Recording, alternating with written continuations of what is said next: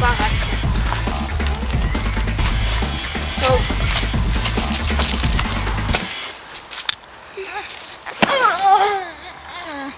Skal vi skyde ham?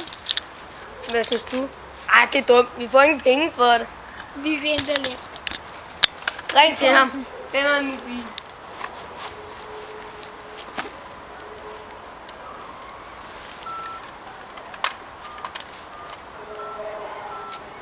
Hallo?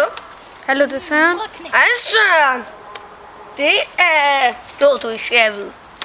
Vi har din søn, Hvor? og vi vil kun give ham tilbage for 200 millioner dollars. Hvor? Hvor er han? Han ligger her hos os. Men 200 millioner dollar.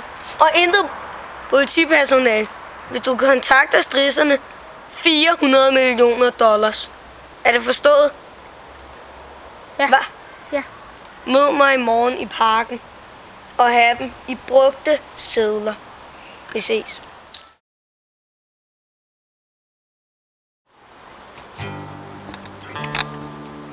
Goddag, Søren. Hvor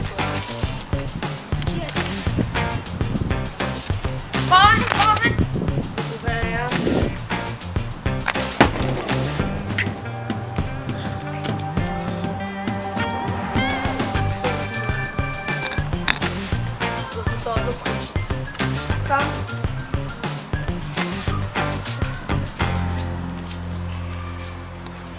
Vejer du med pizza?